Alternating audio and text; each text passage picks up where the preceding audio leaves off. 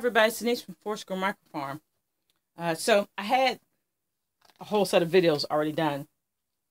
And I decided I didn't like them.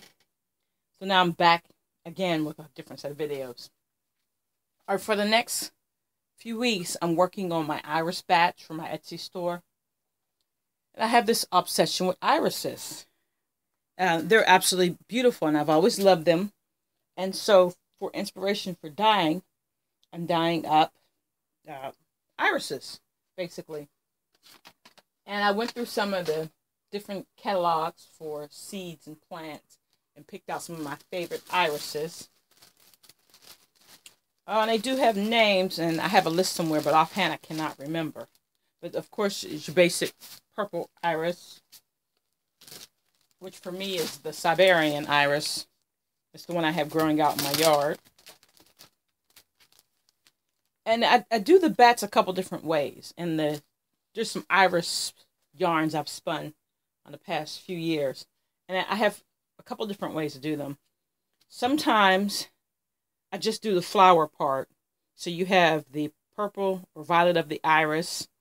Uh, and some of the irises are really dark purple, and just completely solid. Some of them have the white veining or the white streak. Some of them are very white with just a little bit of um, violet on the edge.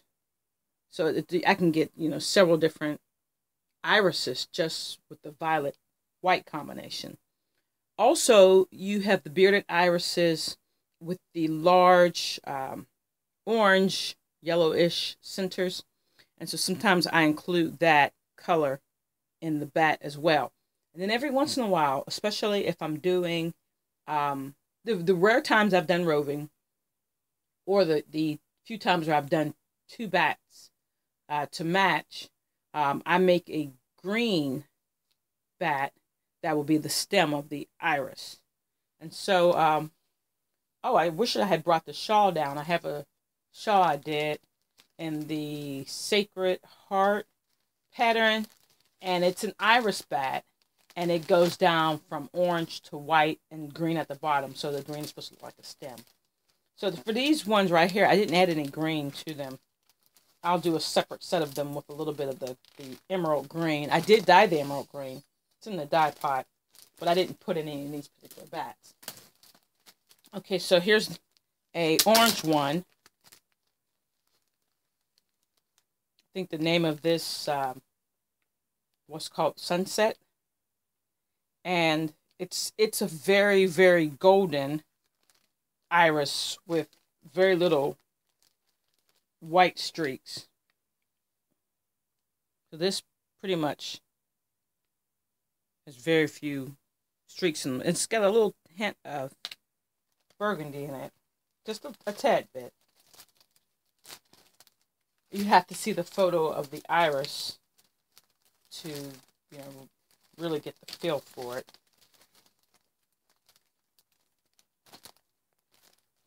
Okay, and then this one, this was the fuchsia iris.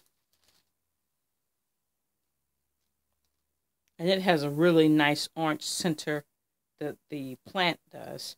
And so there are orange golden highlights in this bat.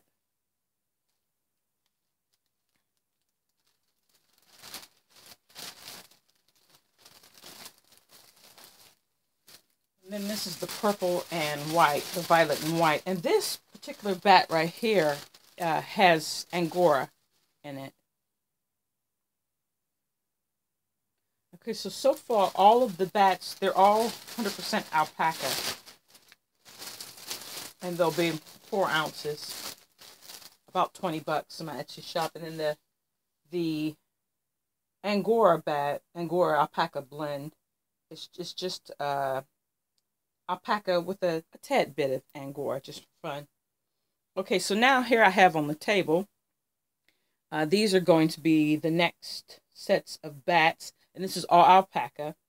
You can actually, what's interesting is the different types of texture in these bats. Uh, this is alpaca, and it's not Suri. This is uh, Huacaya I have to remember how to say it right. And there's very little crimp inside of this fiber right here. Very little crimp. Okay. So it's very sleek, very smooth, almost like you would see Suri, but this is definitely not Suri. Okay, now these guys over here, they have a lot of crimp, and this one even more crimp. And you can see how the texture is just completely different. Let me see if I can get that a little closer. How the texture is completely different. And you can tell really by the way it dyed. This one is more of a jewel tone than these other two. It shows you how that cuticle is smoother. Okay, so so now this is periwinkle. And when I put them in the pot, uh, I don't, they're not very spread out and I don't stir them. And so what happens is you get these blotchy spots by design. And when I blend the fiber, that's how I get the um, the gradation, the subtle gradation of color. It gives me kind of a heathered look. I really like the periwinkle because it breaks. And it breaks in the, the most delightful ways. I tried to adjust the camera so you can get a really good idea of what it looks like. Now, um, this is very light at the top. Looks a little darker to me on the camera. But it's very light. And then as I turn to the bottom, you see the very dark periwinkle. And in the middle, there's this lavender color. Okay, that looks a lot better. See how dark it is over here. And the light up here. It's even lighter on the other side. Then it breaks into this, you can see that lavender color that it breaks into as I turn it on the camera. It's going to make a very pretty uh, bat and a very pretty yarn. And it's going to look very much like the way that the irises uh, do darken on the edge and the way they fade towards the center. It's going to be lovely. And I may add, I may add a little bit of the orange in there. May, may or may not. Because like I said, not, I, not all irises have that big orange pollen center. And then this is the Brilliant Blue. And it broke as well.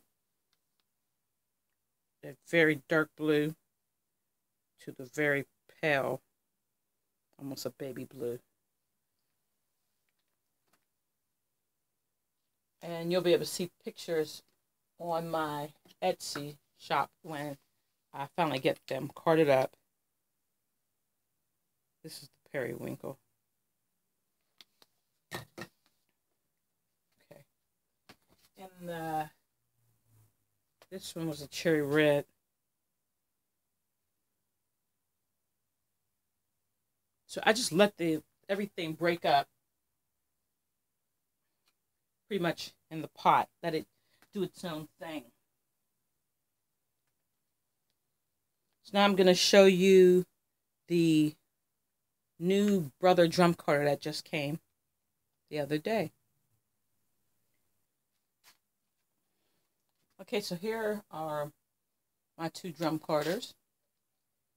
The first one was the Baby Brother and I purchased the baby brother some time ago when mostly what I was working with was medium wools.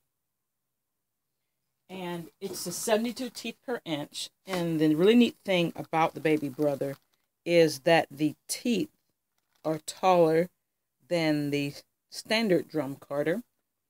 And so it's pretty specific for art bats which I don't really make a lot of. But, you know, if you're putting all kind of curly locks and things into a bat, this will pack on those big art bats. It's really nice. And this is the bat, or the bats I uh, got off of these guys. This is actually alpaca, and it went through very well into the 72 teeth per inch carder. Uh, I didn't kill it. which is really nice. So for the longest time, basically that's what I used. And, you know, I could feed some alpaca through and some alpaca I could not feed through. And it worked out okay. Then I got the Angoras and started working with finer alpacas. And um, it became a bit of a challenge to feed Angora and some of the softer alpacas through this guy because 72 teeth per inch is really not optimum for those finer fibers.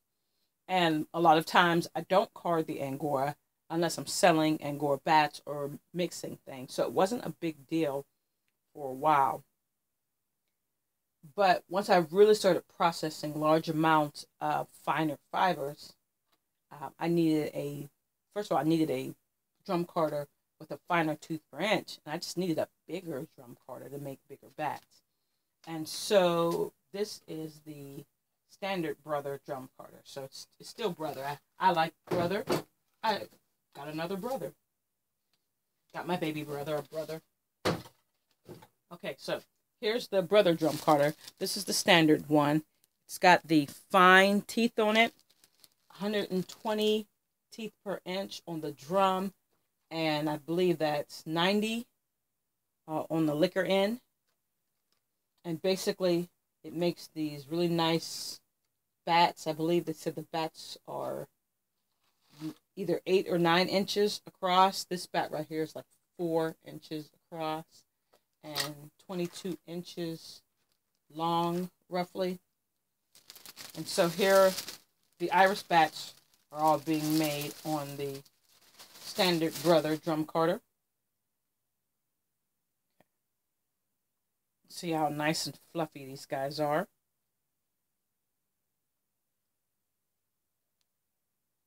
You know, it's I've gone a very long time as a spinner and I've I've always processed my own fiber from the very beginning. I started with the Cheviot and that's what I was spinning on, processing my own fiber from the start. And so I've gone quite some time with without buying a a drum carder. And then I went a lot longer without buying a full size drum carder.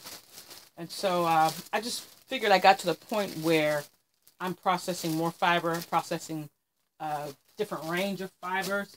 And so I needed to upgrade. At some point, I, I really like to get like a Pat Green, like small cottage drum carder because I'm really getting to a point where I'm processing that much raw fiber. And I do prefer to process my own fiber. I, I'd like to send out to a mill like Morning Star or Ohio Valley uh, just for the experience, but I really do like to process my own fiber.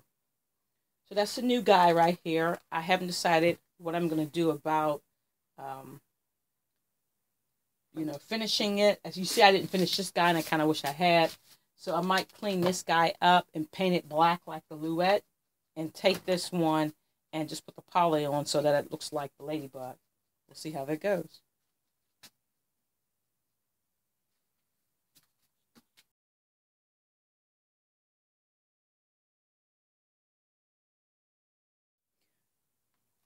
So I've been um, been doing a lot of work for my sock project.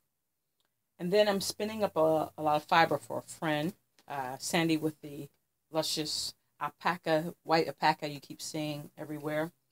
So I really have not had a great deal of time to really work on a lot of projects like I was doing before. And so I will get done with that alpaca soon and I'll be back to more projects.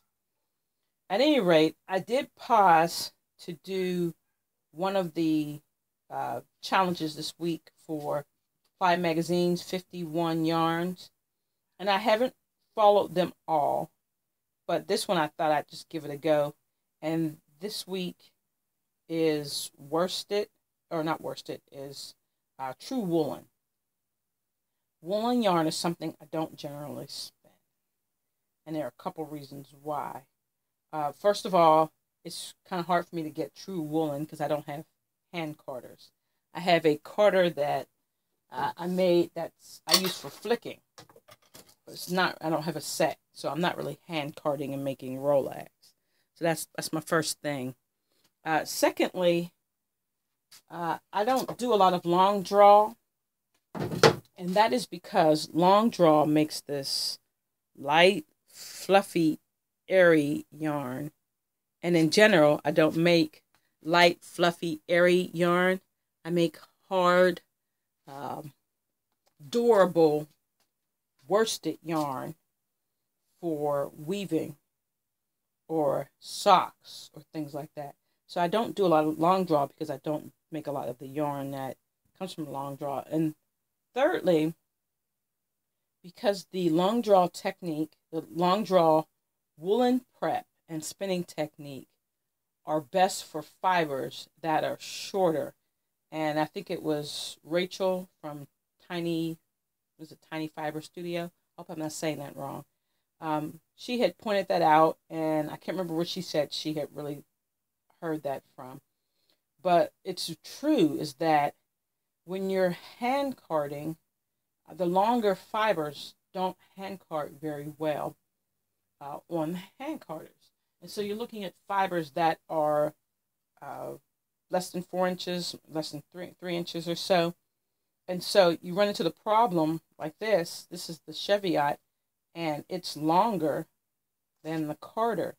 So it doesn't really card into that nice rolag, uh, rolags very well. And as you know, I don't like short fibers. I don't really like to spin with the short fibers or deal with them. And so I don't use a lot of fiber that's suitable for the long draw. So excuses, excuses. But I decided I'd go ahead and give my long draw a practice because hey, that's what this that week is all about is doing things that are out of your comfort zone or, you know, explaining your processes. So this is the my long draw sample and it was from uh, four inch alpaca because basically that's what I had. I couldn't find the, the really terrible short merino. I don't know where it went off to, somewhere in the, deep in the closet. And I didn't have the hand carders, so I had to make fauxlags off of the drum carder. And oh boy, I probably should have videoed that because it was like the worst thing ever. My fauxlags were too tight and I could not get them to draft very well, so I had to take them apart and draft them like I was stripping pieces off of a bat. And it was pretty much hilarious. Even the dogs were laughing at me. But I still managed a long draw, and I had to like almost put the other hand behind my back to keep from smoothing out the fiber. And there's a few places where I got a little smooth uh, fighting with the fiber, and for the most part, it turned out long draw like. And I'm, I'm kind of pleased with that. So maybe I'll do a little long drawing at some point on the great wheel. I really need to use that great wheel. Probably no time soon though. But anyway, uh, go to the Ply magazine and look up the 51 Yarns Challenge and take part in the challenges. Do the hashtag on Facebook and Instagram uh, so that everybody can have a look at your pictures and it'll get you out of your comfort zone get you to be a little more adventurous, and it's just really nice to see other people's handwork, handiwork, uh, when it comes to spinning and creating different types of yarns. Alright I just want to thank everyone for stopping by. I'm going to get some carding done now, and as I finish projects, I'll go on and make some more project um, goal-oriented videos but if you have any questions or comments or any videos you'd like me to make, uh, please let me know. I actually did finish writing out the Angora myths. I just need to go ahead and make the video. And it, it's possible that the Angora myths video will show before this one does. Just depends on how the day goes. This is prime gardening season. Uh, for those of you who garden, you know. So I'm out with the dogs and gardening a lot more. And soon we'll have some dog videos. Dogs in the park, and they are pretty hilarious to watch. I might get one of them a doggy cam. But anyway, thanks for stopping by. Uh, if you haven't subscribed, go ahead and click the subscribe button and the bell. So when I finally get around to making some videos, you'll be notified. And please visit me uh, on Facebook at Foursquare Microfarm, on Instagram, Foursquare Microfarm, and take a look at my Etsy shop at Foursquare Microfarm. Thanks a lot. Have a great day.